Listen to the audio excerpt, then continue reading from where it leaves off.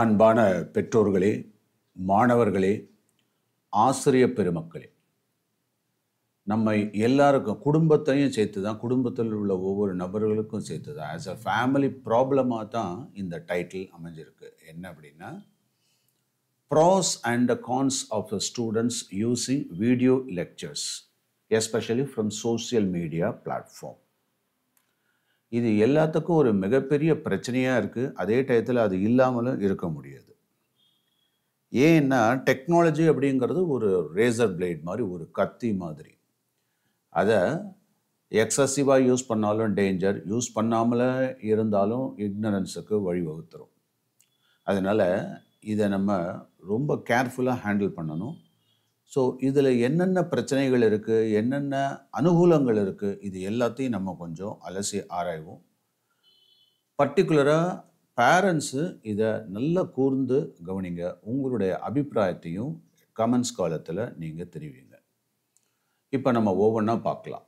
அதாவது இந்த ஸ்டூடெண்ட்ஸ் வந்து வீடியோ லெக்சர்ஸை யூஸ் பண்ணுறதா சொல்லிட்டு சோசியல் மீடியா பிளாட்ஃபார்மில் உட்காந்துருக்காங்க பெரும்பாலும் உங்களுக்கு தெரியும். அது யூடியூப் லெக்சர்ஸ் நல்லா இருக்குது சில இதில் இப்போ நானே பல விஷயங்கள்லாம் வந்து யூடியூப்லேருந்து கற்றுக்கிட்டேன் யூடியூப்லேருந்து கற்றுக்கிறது அப்படிங்கிறது பர்டிகுலராக யூடியூப் நல்லா புரிஞ்சு வச்சுக்கணும். நம்ம வந்து அது ஒரு சோசியல் மீடியா பிளாட்ஃபார்ம் தான். அது வந்து ஒரு சீரியஸான ஒரு லேர்னிங் பிளாட்ஃபார்ம் அப்படின்னு சொல்கிறதுக்கு இல்லை.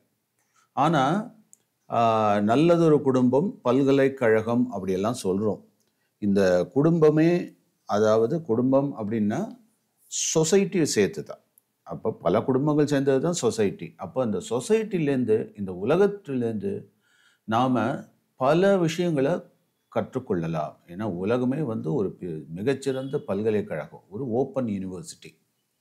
அப்போ அங்கேருந்து கற்றுக்க வேண்டியதெல்லாம் கரெக்டு தான் நியாயம்தான். இதில் ஒன்றும் சந்தேகமே கிடையாது. நமக்கு தெரிஞ்ச விஷயத்த பல பேருக்கு சொல்கிறதுங்கிறது இயல்பான ஒன்று அது நல்லது வரவேற்கத்தக்கது.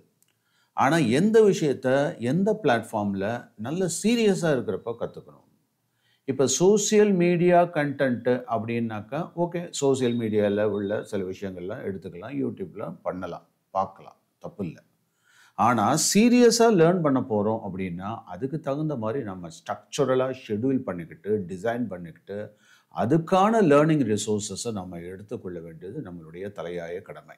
இதை மாணவர்கள் நன்கு புரிந்து கொள்ள வேண்டும். இது ஏன் சொல்கிறேன் அப்படின்னா அந்த காலத்தில் நான் அடிக்கடி சொல்லுவேன் என்னென்னா லேக் ஆஃப் இன்ஃபர்மேஷன் இருந்தது. அதாவது இன்ஃபர்மேஷன் சரியாக கிடைக்கல அப்படிங்கிறதுனால இக்னோரன்ஸுன்றது இருந்தது.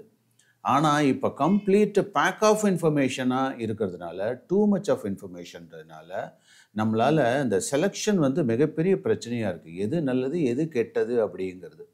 அப்போது நமக்கு ஒரு கன்ஃபியூஷன் வந்துடுது இல்லை அப்படின்னாக்கா நமக்கு தெரிஞ்சது தான் அதிகம் அப்படிங்கிற மாதிரி ஒரு ஆரகன்ஸும் வந்துடுது அதனால தான் நீங்கள் பார்க்கலாம். இப்போ பல குழந்தைகள் வந்து பார்த்திங்கன்னா பேரண்ட்ஸை விட நிறைய தெரிஞ்சிருக்கிறதா? ஏன்னா இந்த கூகுள்லேயும் யூடியூப்லேயும் போயிட்டு அவங்க இப்போ பத்தாயிரத்துக்கு சாட் ஜிபிடிலாம் வந்தாச்சு. அதனால் எல்லாமே மிஷின் லேர்னிங்கில் நாங்கள் கற்றுக்கிட்டு பெரிய எக்ஸ்பர்ட் ஆகிட்டோன்ற மாதிரி கிளைம் பண்ணிக்கிறாங்க. இதில் சில ரெஸ்ட்ரிக்ஷன்ஸு இருக்குது இப்போ நிறைய நீங்கள் படித்தாக்கா தெரியும். எல்லா விஷயங்களும் கலந்து தான் வரும். ஈவன் பெரிய பெரிய நிறுவனங்களே வந்து பார்த்திங்கன்னா மிஷின் லேர்னிங்கில் இன்வெஸ்ட் பண்ணிவிட்டு அது ப்ராப்பரான இன்வெஸ்ட்மெண்ட் இல்லை அதாவது என்ன சொல்லுவாங்கன்னாக்கா தட் இஸ் ஒரு இந்த இன்வெஸ்ட்மெண்ட்டு ஒரு இடத்துல பண்ணுறோம் அப்படின்னாக்கா அது நமக்கு இஃபெக்டிவாக இருக்குதா அப்படிங்கிறத பார்க்கணும். ஸோ அப்படி இல்லை அப்படிங்கிற அதுவே வந்து சரியாக இல்லைன்ற மாதிரியான கம்ப்ளைண்ட்லாம் இருக்கிற பட்சத்தில் நாம் இந்த டிஜிட்டலாக வந்து டூ மச்சாக ஒரு இம்பார்ட்டன்ஸ் கொடுத்துட்டு இருக்கிறதுங்கிறது தப்பு. சில விஷயத்துக்கு தான் செலக்டிவாக பண்ணணும். என்னை பொறுத்தவரை நான் குழந்தைகளுக்கெல்லாம் அடிக்கடி சொல்லுவேன் என்ன அப்படின்னா டிஜிட்டல் இருக்கலாம் தப்பு கிடையாது. ஆனால் அது காலில் கிடக்கிற செருப்பு அப்படின்னு நினச்சிக்கணும். ஸோ நாம் எப்படி காலில் இருக்க செருப்பை வீட்டுக்குள்ளெல்லாம் தேவையில்லாமல் போட்டு வர மாட்டோமோ அது மாதிரி அதுக்குன்னு சில எல்லை உண்டு. அதோடு நிப்பாட்டிக்கணும். அதுக்கப்புறம் நம்ம டீப் லேர்னிங் ப்ராசஸ்க்கு வந்துடணும் இப்போது ஒரு சப்ஜெக்டில் இன்ட்ரெஸ்டே இல்லை அப்படின்னாக்கா அது வீடியோ பார்த்தா ஒரு ப்ரிலிமினரியாக ஃபஸ்ட் லெவலில் ஒரு மோட்டிவேட் பண்ணுறதுக்காக புரியணும் ஆனால் அதை பற்றி தீவிரமாக தெரிஞ்சுக்கணுன்னா நாம் அந்த டெக்ஸ்டுவல் லேர்னிங்லேயும் கற்றலில் கேட்டலே நன்று அப்படின்னு சொல்லுவாங்க. அது மாதிரி பெரியவர்கள்ட்டையும் பெரிய பெரிய ஆசிரியர்கள்ட்டையும் அவங்களுடைய கிளாஸஸ்லேயும் அந்த லெக்சர்ஸை கீனாக கவனிக்கிறது மூலயமா பல அனுபவங்களையும் அனுகூலங்களையும் நாம் பெற முடியும் என்பது திண்ணம். இப்போ நாம் முக்கியமான இந்த விஷயத்துக்கு வருவோம். அதாவது இந்த ஸ்டூடெண்ட்ஸை வீடியோ லெக்சர்ஸுக்கு அலோவ் பண்ணலாமா வேண்டாமா? இதுதான் டைரக்ட் கொஷின் பல பேரண்ட்ஸ் வந்து கன்ஃபியூஸ் ஆகிக்கிறாங்க அதை தான் நான் இங்கே சொல்ல விரும்புகிறேன் இதில் என்ன அப்படின்னா இந்த ஃபஸ்ட் பாயிண்ட்டாக பார்த்தோம் அப்படின்னாக்கா அதாவது த ஆக்சசபிலிட்டி அண்டு கன்வீனியன்ஸ் இது வாஸ்தவம் தான் வீடியோ லெக்சர்ஸில் வந்து பார்த்தீங்கன்னாக்கா நிறைய பிளாட்ஃபார்ம் இருக்குது அந்த பிளாட்ஃபார்மில் டுவெண்ட்டி ஃபோர் பை செவனும் இருக்குது இப்போ என்கிட்டே வந்து திருப்பி திருப்பி ஒரு விஷயத்த சொல்லினா டேய் நான் தான் யூடியூப்பில் ஏற்கனவே போட்டுக்கிறேன்டா அதை கொஞ்சம் பார்த்துருங்க. அதுக்கப்புறம் ஃபர்தராக டவுட் இருந்தால் கேளுங்க. அப்படின்னு நான் சம்டைம்ஸில் கூட சொல்லுவேன்.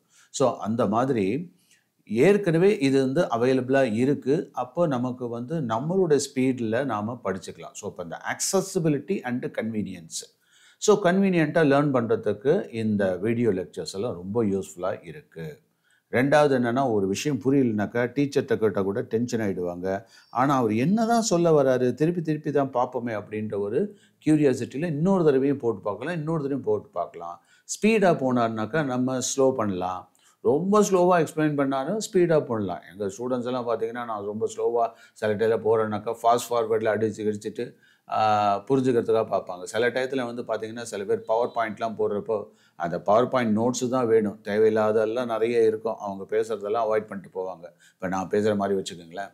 ஸோ அப்போ டு த பாயிண்ட் நீங்கள் என்ன சொல்ல வரீங்க உங்களுக்கே தெரியும். கற்றோர் கழகு சுருங்க சொல்லி விளங்க வைத்தல். நம்ம அப்படி சுருக்கமாக ரத்ன சுருக்கமாக முருகன் அருணகிரிநாதர்கிட்ட சும்மா இரு அப்படின்னு சொல்லிட்டு போயிட்டார். அதுலேருந்து அவர் பெரிய ஞானம் வந்துருச்சுன்னு சொல்லுவாங்க. ஒரு ரெண்டு வார்த்தையில் ஞானம் வந்துருச்சா அப்படின்னு கூட கேட்கலாம். ஏன் அப்படின்னா சும்மா இரு அப்படின்னா நீ எதை சும்மா இருக்க சொல்ற? மனதை சும்மா இருக்க சொல்றியா? எண்ணங்களை சும்மா இருக்க சொல்றியா? ஆக்டிவிட்டியை சும்மா இருக்க சொல்றியா? இப்படின்னு தன்னைத்தானே கேள்வி கேட்டுட்டு இந்த ரெண்டு வார்த்தையில் அவர் வந்து மோர் தென் டூ மில்லியன்ஸுக்கான தாட் ப்ராசஸை எடுத்து அதை மெடிடேட் பண்ணி அதுலேருந்து பல விஷயங்களை ஒரு ஞானமாக பெற்றார். அப்படி தான் நம்ம வச்சுக்கணும். அவர் எடுத்த இன் கொடுத்த இன்புட்டு ரெண்டு. ஆனால் அவர் டெவலப் பண்ணது நிறையா. படிப்பும் அப்படி தான் இந்த படிப்பாகப்பட்டது ஆக்சுவலாக எஜுகேஷன்னாலே எட்யூஸ் டு பிரிங் அவுட் உள்ளே இருக்கிறத வெளியில் கொண்டு வரதுக்காக தான். அப்போது இந்த மோட்டர்லாம் இப்போ மொத மொதல் மோட்டர் வந்து நம்ம போடுறோம் அப்படின்னாக்கா அவங்க என்ன பண்ணுவாங்க? இந்த ப்ரைமிங்னு ஒன்று போடுவாங்க. அப்போது கிணத்துலேருந்து தண்ணி எடுக்கிறோன்னா அதுக்கு முன்னாடி அந்த கிணத்துக்குள்ளேயே தண்ணி கொட்ட வேண்டியதாக இருக்குது அதாவது அந்த பைப் வழியாக அதை போட்டோம் அப்படின்னாக்கா கொஞ்சம் போட்டால் அதுக்கப்புறம் அது பெருவாரியாக வெளியில் வர மாதிரி. கல்வியும் என்னென்னா நம்ம கொஞ்சம் போட்டால் நாம் உள்ளேருந்து வெளியில் எடுக்கக்கூடியதாக நிறைய தான் இருக்கணும். இதுதான் எடியூஸ்ன்னு சொல்கிறது இதுதான் நம்மளுடைய டீச்சர்ஸோட ரோலும் கூட ஸ்டூடெண்ட்ஸும் அது புரிஞ்சு நடந்துக்கணும். அப்போது நம்ம உள்ளேருந்து வெளியில் என்ன இவ்வளோ கொண்டு வரோம் அப்படிங்கிறதான் பார்க்கணும். அதை கொண்டு வரத்துக்காக நம்ம என்ன பண்ணோம்? கொஞ்சம் ப்ரைமிங் பண்ண வேண்டியதாக இருக்குது எப்படி தண்ணியை கொஞ்சம் ஊற்றிட்டு அதுக்கப்புறம் அந்த சக்ஷன் கண்டினியூட்டி வரணும்னு எப்படி மோட்டரில் பண்ணுறோமோ அப்படி பண்ண வேண்டியதாக இருக்குது ஓகேவா இப்போ நாம் பாயிண்ட்டுக்கு வந்துடுவோம் இந்த ஃபர்ஸ்ட் பாயிண்ட்டை பற்றி நம்ம கன்வீனியன்ஸ்க்காக சொன்னேன் செகண்ட் பாயிண்ட் இந்த செகண்ட் பாயிண்ட்டில் என்னென்னா டைவர்ஸ் லேர்னிங் ரிசோர்ஸஸ் வாஸ்தவம் தான் இது ஒரு வசதி இருக்குது வெரைட்டி ஆஃப் ரிசோர்ஸஸ் இதில் இருக்குது அப்போ ஒரு டீச்சர் சொல்கிறது மட்டும் நம்ம நம்பிட்டு இருக்கணும்னு அவசியம் இல்லை. ஆனால் இதில் இன்னொன்றும் கவனிக்கணும். ஒரு இப்போ ஃபோட்டோ சிந்தசிஸா இல்லைன்னா எலக்ட்ரோகெமிக்கல் ரியாக்ஷனா இல்லை அப்படின்னாக்கா வேறு ஏதாவது கேல்குலஸில் டிஃபரன்ஷியல் டெக்னிக்கா அதை கற்றுக்கணும் அப்படின்னாக்கா ஒரு தட்டை கற்றுக்கலாம் அதையே பத்து பேர்கிட்ட திருப்பி திருப்பி கற்றுக்கிட்டோம்னா அது நமக்கு டைம் வேஸ்ட் தானே. ஸோ கற்றுக்கிட்டா அதுக்கப்புறம் நீ என்ன பண்ண போகிற ஒர்க் அவுட் பண்ணணும். அதுதான் ரொம்ப முக்கியம். நாம் என்ன திருப்பி கொடுக்க போகிறோம் இது எப்படின்னா கிட்டத்தட்ட ஒரு பிராணாயாமம் ஸ்டைலில் தான் நம்மளுடைய படிப்பு அமையணும்.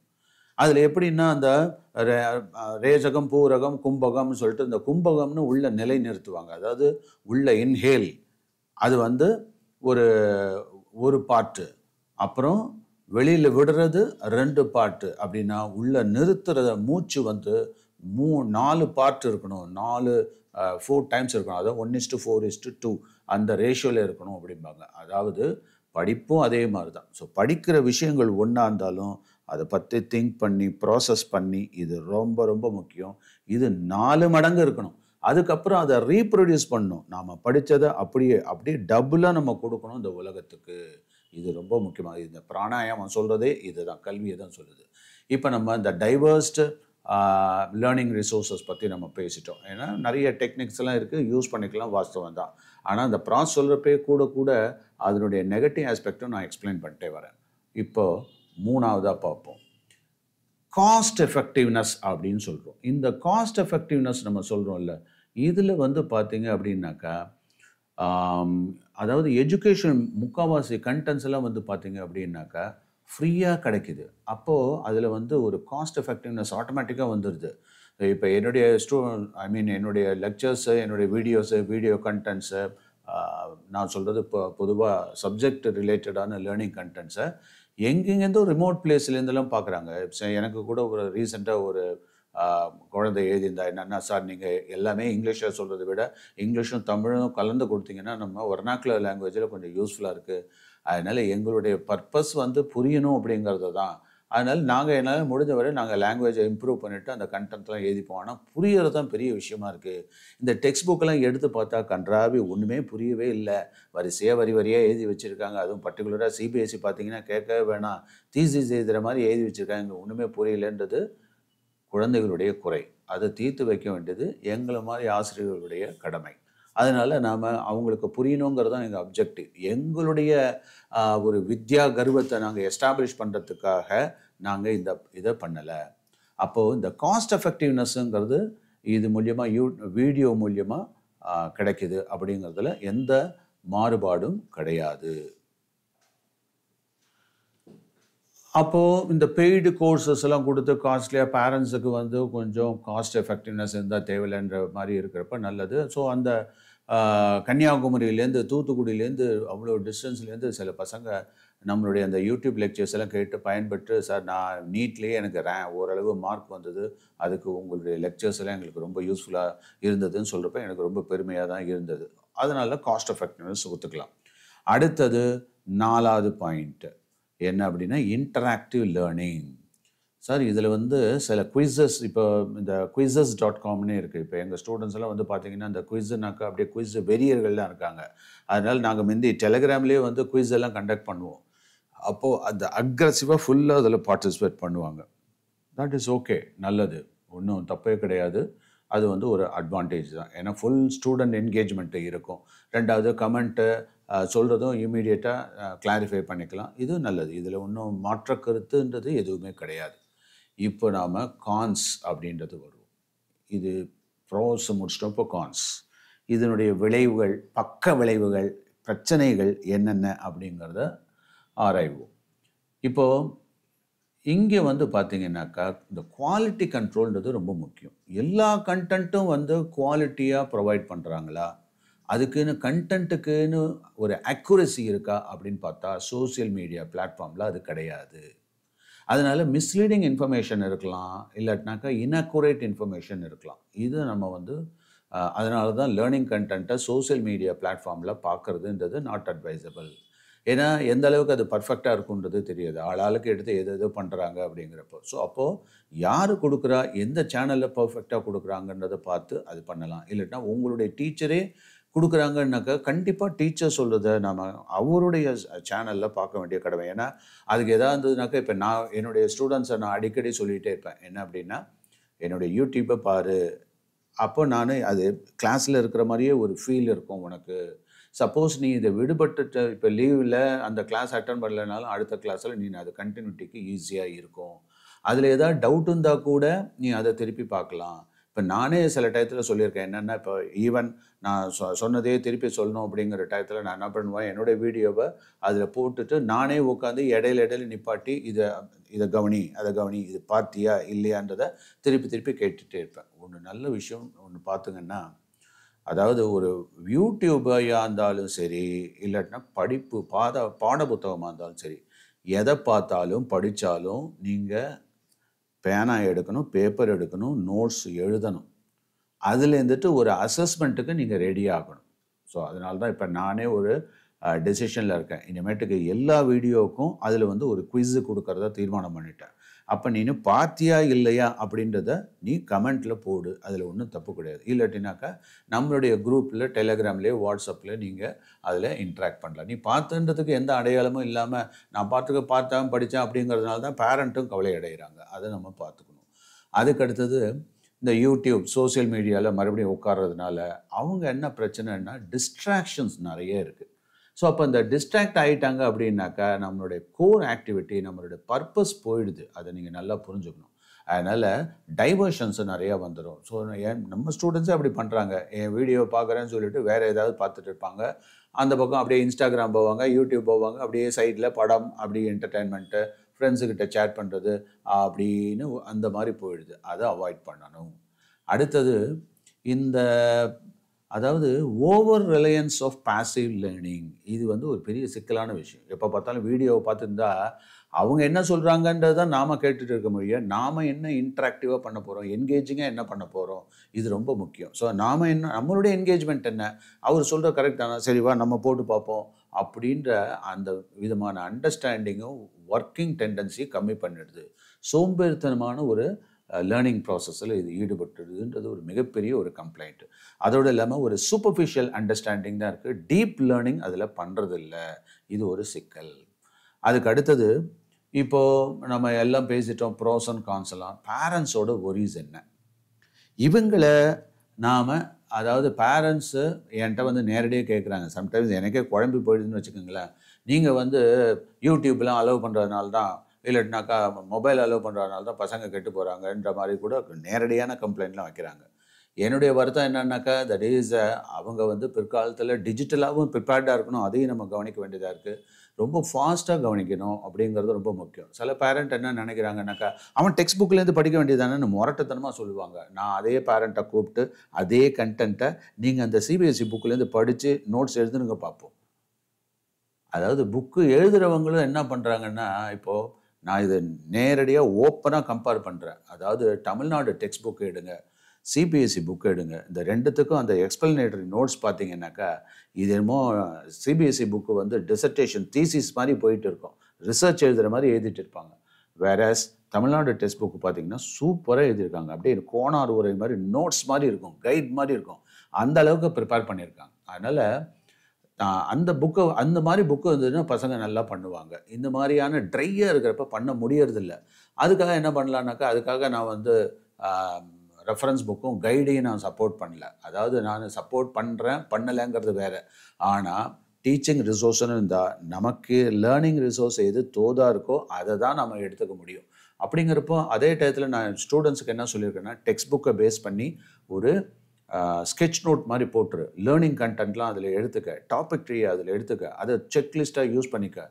இதில் இருக்கிறத நீ நல்லா படிச்சுக்கோ அப்படிங்கிறத நான் சொல்கிறேன் எதையும் மிட்ரு மிஸ் பண்ணிடக்கூடாது இல்லை அதனால இந்த ஸ்கெட்ச் நோட்டுன்றது அவசியம். டேர்ம்ஸ் அண்ட் டெஃபினேஷன்ஸ் அவசியம். மெமரி பண்ண வேண்டியதெல்லாம் ஃப்ளாஷ் கார்டில் போட்டு எல்லா ஸ்ட்ராட்டஜியும் ஸ்டூடெண்ட்ஸுக்கும் சொல்லி கொடுத்துருக்கேன். அதை அவங்க சின்சியராக அந்த லேர்னிங் டூல்ஸை யூஸ் பண்ணால் சக்ஸஸ்ஃபுல்லாக வரலாம். இப்போது பேரண்ட்ஸோட ஒரிஸை பற்றி பார்ப்போம். இதில் எட்டாவது பாயிண்ட்டாக என்ன அப்படின்னா அதாவது சார் யூடியூப்பில் யூடியூப் சமாச்சாரம் மட்டுமா வருது? திடீர்னு ஏதாவது ஒரு டண்டன டான்ஸ் வருது குத்து டான்ஸ் வருது அது தேவையில்லாத விஷயங்கள்லாம் வருது. பசங்க அதில் டிஸ்ட்ராக்ட் ஆகிடுறாங்க இன்னப்ரோப்ரியேட் கண்டென்ட்டுக்கு அவங்க பலிகடாவாக ஆகிடுறாங்க இது ஹண்ட்ரட் பர்சன்ட் உண்மை. இல்லையா? ஏன்னா இவங்க வந்து டெண்டர் ஹார்ட்ஸு யங் ஹார்ட்ஸ் குழந்தைகள். ஸோ அதனால் என்னென்னா அந்த மாதிரியான நமக்கு வாலண்டியராக தெரிஞ்சு ஒரு ராட்டன் அட்மாஸ்பியரை நம்ம குழந்தைகளுக்கு ஏற்படுத்தி கொடுப்போமா? கூடாது கொடுக்கக்கூடாது அப்படிங்கிறப்போ பேரண்ட்ஸோட ஒரிஸு நியாயமானது. அதனால் இதை எப்படி அவாய்ட் பண்ணலாம்? எப்படி தடுக்கலான்னா இதுக்கான சொல்யூஷன் இமீடியட்டாக நம்மளால் பண்ண முடியும். என்னென்னா தனிப்பட்ட முறையில் எந்த ஸ்டூடெண்ட்டையும் தனி ரூமில் அதுவும் பர்டிகுலராக ஸ்மார்ட் ஃபோனை வச்சுக்கிட்டு நோண்டிட்டு இருக்கிறதுக்கு அளவே பண்ணக்கூடாது. அது கிளாஸஸில் இருந்தாலும் சரி இல்லாட்டினாக்கா வீடாக இருந்தாலும் சரி. ஸோ தனியாக ரூம்குள்ளே போகிறது நான் எல்லாம் படித்து கிழிக்கிறதெல்லாம் அதெல்லாம் வேண்டாம். ஏன்னா அது வந்து ஒரு ஒரு டெவில்ஸ் ஒர்க் ஷாப்னு சொல்லுவாங்கள்ல அந்த மாதிரி ஆகிடும் அதனால் எப்போதும் லேர்னிங் கண்டென்ட்டு மொபைலில் பண்ணுறதுன்றதை விட லேப்டாப்பில் பண்ணுறதுலாம் இல்லைனாக்கா தட் இஸ் கிளாஸ் ரூம் அட்மாஸ்ஃபியரில் ரெக்வஸ்ட் பண்ணிக்கிட்டு எவ்வளோ தூரம் பண்ண முடியுமோ அவ்வளோ தூரம் தான் பண்ணலாம். ஸோ அதில் அண்டர் த வாட்ச்ஃபுல் ஐஸ் அதில் என்னுடைய லிபர்ட்டி போகுது. அது ஒன்றும் பெரிய விஷயம் இல்லை. நீ வந்து இன்அப்ரோப்ரியேட் கண்டென்ட்டு பார்க்குற அப்படிங்கிறதுனால தானே பேரண்ட்டும் பார்க்குறாங்க சூப்பர்வைஸ் பண்ணுறாங்க அதனால் அது தேவையில்லை. ஸோ கூடுமானவர்கள் உங்கள் நீங்களே சேஃப்கார்ட் பண்ணிக்கணும்னா ஒரு நல்ல அட்மாஸ்ஃபியரில் இருந்து பண்ணணும். தேவையில்லாத இதெல்லாம் ஏன் வருது? ஆரம்பத்துலேயே நம்ம தூக்கி போட்டுடலாமே. ஸோ அதனால் நம்ம நமக்கு தகுந்த மாதிரி செல்ஃப் கண்ட்ரோல் இல்லைன்னா அது வந்து அளவே பண்ணக்கூடாது. அடுத்தது எக்ஸசிவ் ஸ்க்ரீனிங் டைம் இது வந்து கண்ணை கெடுக்குது கண்ணை ஸ்பாயில் பண்ணுது. அந்த ஸ்லீப்பிங் பேட்டர்னே அஃபெக்ட் ஆகுது. ஸோ அப்போ அந்த லேக் ஆஃப் ஃபிசிக்கல் ஆக்டிவிட்டி வந்து ரொம்ப ரொம்ப ஹெல்த் இஷ்யூவை க்ரியேட் பண்ணி விட்டுருது. இது ஹண்ட்ரட் பர்சன்ட் நியாயமான ஒரு பாயிண்ட்டு அதனால் நான் இதுக்கும் பேரண்ட்ஸ் சைடு தான் இருப்பேன். அடுத்தது ஏன்னா இப்போ ஒரு புக்குனாக்கா நடந்துக்கிட்டு படிக்கலாம். இல்லாட்டினா போர்டில் எழுதி படிக்கலாம். இந்த மாதிரி ஒரு டிஃப்ரெண்ட் ஸ்டைல் அடாப்ட் பண்ணலாம். ஒரே இடத்துல உட்காந்துருந்தா முதுகு தான் வலிக்கும். இப்போ பல ஸ்டூடெண்ட்ஸ் வந்து பார்த்தீங்கன்னா இன்னும் வயசானவங்க சொல்கிற பிரச்சனையெல்லாம் சொல்லிட்டு இருக்காங்க. எனக்கு முதுகு வலிக்குது இங்கே வலிக்குது அங்கே வலிக்குது கழுத்தை வலிக்குதுன்ட்டு. இது காரணம் என்ன? ஒரே போஸ்டரில் இப்படியே உட்காந்துருந்தா வலிக்கத்தான் செய்யும். சரியா? அடுத்தது இந்த சோசியல் இன்ட்ராக்ஷன் வந்து ரொம்ப பாதிக்குது. எப்போ வந்து பார்த்தாலும் இன்னும் ரோபோ மாதிரி பேசுகிறதே கிடையாது. இப்போ பேசுகிறதே கிடையாது அப்படிங்கிறது ஒரு மிகப்பெரிய இஷ்யூ ஆகிடுது ஃபேமிலிக்குள்ளேயே ஒருத்தருக்கு ஒருத்தர் பேசுறதே கிடையாது அப்படின்னு சொல்லிட்டு. அதனால் இந்த சோசியல் இன்ட்ராக்ஷனும் வேணும் அப்படிங்கிறப்போ ரொம்ப too much of screen time வந்து வெரி வெரி டேஞ்சரஸ் இதுலேயும் நான் வந்து பேரண்ட்ஸ் பக்கம்தான் சப்போர்ட்டிவாக நிற்கிறேன் அதனால் அப்பப்போ பேரண்ட்டோடையும் பேசணும் இல்லையா? ஸோ பேரண்ட்டை என்னென்னா குழந்தைங்கள ரொம்ப பெரிய மனுஷன் மாதிரி ஆக்கிக்காதீங்க. சில இப்போ ஃப்ளாஷ் கார்டெலாம் நான் கொடுக்குறேன். அந்த ஃப்ளாஷ் கார்டில் டேர்ம்ஸு டெஃபினிஷன்ஸ்லாம் இருக்கும். உங்களுக்கு தெரியுதோ தெரியலையோ டேர்ம்ஸ் அண்ட் டெஃபினேஷன்ஸ் ஒரு பக்கம் வச்சுட்டு டேர்மை ஒண்டி சொல்லிவிட்டு நீங்கள் சொல்லிடா பார்ப்போம் அப்படின்னு சொல்லலாம். இதெல்லாம் இல்லைனாக்கா இந்த டேர்ம்ஸு வீட்டில் ஒரு போர்டு மாதிரி வச்சுக்கோங்க. போர்டில் எழுத சொல்லுங்கள் ஒன்றும் தப்பே கிடையாது. ஸ்கூலில் தான் கிளாஸ் ரூமில் தான் டியூஷன் டீ இடத்துல தான் போர்டு இருக்கணும்னு அவசியம் இல்லை. வீட்டில் கூட போர்டு இருக்கலாம். அதை வச்சு நீங்கள் வீட்லேயும் கொஞ்சம் என்கேஜ் பண்ணலாம். அடுத்தது இப்போது இந்த பாயிண்ட்லாம் நான் முடிச்சிட்டேன். நெக்ஸ்ட்டு இப்போது ஸ்டூடெண்ட்ஸ் இஷ்யூஸ் இன் வாட்சிங் யூடியூப் வீடியோ லெக்சர்ஸ் இதில் இன்னொரு பாயிண்ட் என்னென்னா இந்த டிஸ்ட்ராக்ஷன்ஸ் அப்படிங்கிறத பற்றி சொன்னேன். அது வந்து சோசியல் மீடியாலேருந்து எல்லாமே கற்றுக்கணுன்றதை நினைக்காதீங்க. நம்மளுடைய அகாடமிக் புக்கு அதுதான் ரொம்ப ஹெல்ப்ஃபுல்லாக இருக்கும். அடுத்தது இன்ஃபர்மேஷன் ஓவர்லோட் பற்றி நான் ஏற்கனவே பேசிட்டேன். அப்புறம் இந்த டெக்னிக்கல் பேரியர் அதாவது இதில் வந்து இப்போ ஒரு ஸ்ட்ரீம் வீடியோ லைவ் போடுறோம் அப்படின்னா எல்லாத்துக்குமே ஸ்மூத்தாக இருக்காது விட்டு விட்டு வரும். இதெல்லாம் ஏன் நேரடியாக போய் கற்றுக்கலாம்லாம் ஒன்றும் பிரச்சனையும் இல்லையே. ஸோ அதனால் அந்த டெக்னிக்கல் பேரியர்ஸும் இருக்கத்தான் செய்யுது. அண்ட் ஃபைனல் செக்ஷன் பார்த்தோம் அப்படின்னா resolving the misunderstanding between parents and wards இதுதான் முக்கியமான ஒன்று இதில் ஆஸ் டீச்சர்ஸாக நம்ம என்ன பண்ணலாம்? பேரண்ட்டாக என்ன பண்ணலாம்? அப்படின்னா ஓப்பன் கம்யூனிகேஷன் அடிக்கடி பேரண்ட் ஆகிய நாம் ஆசிரியர்களாகிய நாம் குழந்தைகளோடு சேர்ந்து ஒரு மீட்டிங் மாதிரி கண்டக்ட் பண்ணணும். இது ரொம்ப அவசியம். இது வந்து வேஸ்ட் ஆஃப் டைம்லாம் கிடையாது. அதனால் ஒரு காமன் ஆஸ்பெக்டை பற்றி நம்ம பேசலாம். இல்லைன்னா ஒரு டூர் ஸ்டடி டூர் ரொம்ப ரொம்ப ஹெல்ப்ஃபுல்லாக இருக்கும். மாதத்தில் ஒரு தடவையாவது அப்படியே குழந்தைகள் டீச்சர்ஸு ஸ்டூடெண்ட்ஸு போகலாம். தப்பு இல்லை. எப்போ பார்த்தாலும் டுவெண்ட்டி ஃபோர் ஹவர்ஸும் படிச்சுட்டு செவன் டேஸும் பயங்கரமாக நான் ஒர்க் பண்ணுறேன் அந்த த்ரீ சிக்ஸ்டி ஃபைவ் டேஸே எக்கச்சக்கமாக படித்து தள்ளுறதெல்லாம் நம்மளை நாமளே ஏமாற்றிக்கிற ஒரு விஷயம். அதனால் சம்டைம்ஸ் இந்த மாதிரி open communication study tour and meetings இதெல்லாம் வந்து ரொம்ப ரொம்ப யூஸ்ஃபுல்லாக இருக்கும். அதனால் கொஞ்சம் கொஞ்சம் அப்பப்போ ரிலாக்ஸ் பண்ணிக்கலாம். ஒன்றும் தப்பு கிடையாது. ஸோ அதனால் இந்த பதினஞ்சாவது பாயிண்ட்டை வந்து நான் என்கரேஜ் பண்ணுறேன் ஓப்பன் கம்யூனிகேஷன் அப்படிங்கிறத. அதுக்கப்புறம் சும்மா அதாவது ஓப்பன் கம்யூனிகேஷன் இங்கே நான் சொல்ல வந்தது என்னென்னா சும்மானாச்சுக்கும் அதாவது ஒரு பேரண்ட் என்கிட்ட வந்து சொன்னாங்க. சார் அவள்கிட்ட பேசவே முடியல சார் பேசினாலே குடும்பத்துக்குள்ளே தகராறு. எனக்கு ஆச்சரியமாக இருந்தது. ஏப்பா உங்கள் குழந்த உங்கள் குடும்பத்துக்குள்ளே எப்படி தகராறு ஆகும் ஆமாம் சார். பேசுனா நமக்கு ரெண்டு பேருக்கும் மிஸ் அண்டர்ஸ்டாண்டிங் வருது. அதனால் நம்ம ரெண்டு பேரும் பேச வேணாம்னு என் பொண்ணு சொல்லிட்டு போகிறா அப்படின்றாங்க. இது நான் என்ன சொல்கிறதுன்னு ஒன்றுமே புரியல. இவள்கிட்ட கேட்டாலும் ஆமாம் எது கேட்டாலும் எரிஞ்சு விடுறாங்க. ஓவராக டூ மச்சாக எதிர்பார்த்துட்டு இருக்காங்க.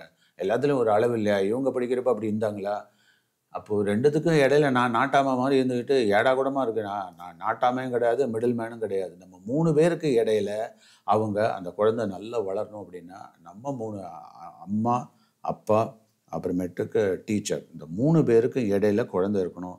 மூணு பேர்ட்டையும் சகஜமாக பேசணும். மூணு பேரும் ஒருத்தருக்கு ஒருத்தர் ஹெல்ப்ஃபுல்லாக இருக்கணும். நம்மளோட அல்டிமேட் ஐடியா என்னென்னா அவங்க எப்படியாவது நல்ல விதமாக வரணும்.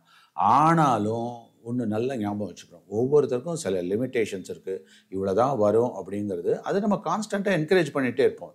ஆனால் என்றைக்குமே கம்பேர் பண்ணாதீங்க. அந்த அளவுக்கு வரலையே. எல்லாரும் சென்டம் அடிச்சிட்டாக்கா அப்புறம் என்னத்துக்கு இருக்குது எல்லாம் சென்டம்லாம் நீங்கள் நம் நீங்கள் நினைக்கிற மாதிரி நூற்றுக்கு நூறு எல்லாம் எடுத்த எல்லாம் பெரிய மகா பெரிய புத்திசாலி கிடையவே கிடையாது. அதனால் இப்போ ஈவன் ஒரு ஆர்ட் ஒர்க்கு பார்த்தீங்கன்னா இப்போ நான் இதில் பார்த்தீங்கன்னா கம்ப்ளீட் பிளாக் பேக்ரவுண்டில் ஒயிட் லெட்டர்ஸ் எடுத்து வந்திருக்கேன். ஏன்னா அந்த ஸ்க்ரீன் அந்த கண்ணில் வந்து அஃபெக்ட் ஆகக்கூடாது அப்படின்றதுக்காக. சில டயத்தில் அப்படியே ரிவர்ஸ் பண்ணுறோம் ஸோ இப்போ இந்த பிளாக்கில் பிளாக்கே போட்டோம்னா கேவலமாக இருக்கும் ஒன்றுமே தெரியாது. அதே டயத்தில் அப்படியே பளிச்சுன்னு ஒயிட்டாக போட்டு அதில் நாம் பண்ணோம் அப்படின்னாக்கா எல்லாம் ஒயிட் லெட்டர்லேயே எழுத முடியுமா? எழுத முடியாது. எப்படி பிளாக்கில் பிளாக் ஸ்க்ரீனில் பிளாக் லெட்டர்லேயே எழுத முடியாதோ? ஹண்ட்ரட் பர்சன்ட் அதே மாதிரி ஒயிட் போர்டில் ஒயிட்லேயே எழுத முடியாதோ? லேர்னிங்கிறது கொஞ்சம் தெரிஞ்சிருக்கணும் கொஞ்சம் தெரியாமலும் இருக்கணும். என்ன ஒன்று சொல்லலாம்? தெரியாமல் இருக்கிற கண்டென்ட்டு கம்மியாக இருக்கலாம். ஆனால் absolutely you can not achieve அப்படின்ற பெரிய ஞானி ஆகிடுவாங்களே அதனால் ஒரு குழந்தை வந்து நாற்பதுக்கு நாற்பது ஏன் எடுக்கலன்னு போட்டு டார்ச்சர் பண்ணாதீங்க. தயவுசெய்து பண்ணாதீங்க. அதாவது முப்பது எடுத்துருக்காளா? எடுக்கட்டும். சரி நெக்ஸ்ட் இப்போ ஒரு மார்க் எடுத்தால் கூட ஓகேடா முப்பத்தொன்று ஓகே அடுத்தது முப்பத்தி ரெண்டு ஓகே நெக்ஸ்ட்டு டெஸ்ட்டில் நாற்பதுக்கு முப்பத்தஞ்சு எடுத்துட்டால ஓகே நெக்ஸ்ட்டு டெஸ்ட்டில் நாற்பதுக்கு பன்னெண்டு தான் எடுத்தான்னா அவளுக்கு என்ன பிரச்சனைன்னு கேளுங்க. அதை விட்டுட்டு போட்டு அவளை டார்ச்சர் பண்ணி இது கூட முடிக்க முடியாதா? நான் இவ்வளோ செலவு பண்ணுறேனே முக்காவாசி பேரண்ட் இதை ரொம்ப டூ மச்சாக போகிறீங்க அதனால் பேரண்ட்டுக்கான அறிவுரையாக எடுத்துக்கோங்க. ஒரு ப்ராம்ப்டிங்காக எடுத்துக்கோங்க. சும்மா நீங்கள் கொடுத்த ஃபீஸையும் குழந்தையோட பெர்ஃபார்மன்ஸையும் டைரெக்டாக கம் கம்பேர் பண்ணிங்கன்னா அது உங்களுக்கு இழுக்கு. நீங்கள் ஏதோ வேறு ஏதோ இது வந்து பிஸ்னஸ் டிரான்சாக்ஷன் கிடையாது. நீங்கள் குழந்தை வளர்க்கல. நீங்கள் வந்து ஆடு மாடு வளர்க்குற மாதிரி வளர்த்துட்டு இருக்கீங்கன்னு அர்த்தம். அதனால் பலாபலன்கள்லாம் பார்த்தெல்லாம் நம்ம எந்த ஒரு விஷயத்தையும் பண்ணுறக்கூடாது நம்ம பாட்டுக்கு பண்ணுறதை பண்ணிகிட்டு இருக்கோம். கண்டிப்பாக வரும். கான்ஸ்டன்ட் மானிட்டரிங்கிறது அவசியம். அதில் ஒன்றும் இது கிடையாது. அதனால் கான்ஸ்டன்ட் மானிட்டரிங் பண்ணிகிட்டே இருக்கலாம். அட் த சேம் டைம் என்கரேஜ்மெண்ட்டுங்கிறது கம்பல்சரி சும்மா டார்ச்சர் பண்ணுற வேலையை விடுங்க பேரண்ட்ஸ் தயவுசெய்து விடுங்க. அடுத்தது பேரண்ட்டோட அந்த செட்டிங் பவுண்டரிஸ் அதாவது இந்த ஸ்க்ரீன் டைம் நம்ம பற்றி பேசணும் இல்லையா? ஸோ இப்போ இந்த இடத்துட்டு என்ன பண்ணலாம் அப்படின்னா ஒன்று நீ வந்து எல்லாருக்கும் முன்னாடி பண்ணு. அப்படி இல்லாட்டினா ஒரு பர்டிகுலர் டைமில் தான் நீ பண்ணணுன்றதை ரெஸ்ட்ரிக்ட் பண்ணுங்கள் அது ஓரளவு உங்களுக்கு யூஸ்ஃபுல்லாக இருக்கும். பட் கூடுமான வரையிலும் ஸ்டூடெண்ட்ஸுக்கு நான் என்ன சொல்கிறேன் அப்படின்னா நீங்கள் நேரடியான கிளாஸ்னால் நேரடியான கிளாஸில் எல்லா விஷயத்தையும் கற்றுங்க என்றைக்காவது ஒரு நாள் எக்ஸப்ஷன்லாம் பண்ணல முடிய அதையே வாலண்டியராக பிடிச்சிட்டு இருக்காதீங்க. என் ஸ்டூடெண்ட்டு சில பேர் என்ன பண்ணுவாங்கன்னா புக்கு பார்க்க மாட்டாங்க ரெஃபரன்ஸ் பார்க்க மாட்டாங்க என்கிட்டையும் கேட்க மாட்டாங்க. சம்டைம்ஸ் என்னென்னா வேறு ஏதாவது ஒரு சேனலில் பிடிச்சிக்கிட்டு அங்கே இருந்துட்டு அதை பார்த்துட்டு இருப்பாங்க. அப்போ சொல்லித்தரவும் மடையன்ற மாதிரி ஆகிடும் இதெல்லாம் பண்ணே பண்ணாது தயவுசெய்து பண்ணாதீங்க. எதாக இருந்தாலும் அந்த கன்சர்ன் டீச்சர்கிட்ட கேளுங்க. After all we are available in front of you ஆனால் நீ உனக்கு திடீர்னு டவுட் வந்ததுன்னா ஆன் த ஸ்பாட்டு பண்ணுனாக்கா அந்த டயத்தில் எந்த இதுவும் இல்லைன்னா எலக்ட்ரானிக் கேட்ஜெட்டை யூஸ் பண்ணுறதுல தப்பு இல்லை. பட் அதே சமயம் எப்போ பார்த்தாலும் நீ அதே வாடிக்கையாக வச்சிட்டீங்கன்னா அப்போ நாங்கள்லாம் இருந்தும் இல்லாமல் போயிடுவோம். ஜாக்கிரதையாக இருங்க. அடுத்தது பேரண்ட்டோட இன்வால்மெண்ட்டுங்கிறது ரொம்ப ரொம்ப முக்கியம். ஸோ என்ன பண்ணணும்னா எஜுகேஷன் கண்டென்ட் நீங்கள் சப்போஸ் அந்த மாதிரி அவசியமாக அவங்க பார்க்க வேண்டியதான்னாக்கா நீங்கள் ஒரு தடவை ஒரு ஸ்கேன் பண்ணிவிட்டு அதை பார்த்தீங்கன்னாக்கா நல்லது கெட்டது தெரிஞ்சு அவங்கள பார்க்க வச்சிங்கனாக்கா நல்லது. ஸோ இப்போ இதில் நான் பல விஷயங்களை பேசியிருக்கேன். ஸோ அது சில இது உங்களுக்கு நோகடிக்கிற மாதிரி இருந்ததுன்னா மன்னிச்சுக்கோங்க. But at the same time என்னன்னாக்கா நாம் இப்போ இதில் எப்படி முடிவுக்கு வர்றது? நான் கடைசியாக ஒரு விஷயம் சொல்லணும்.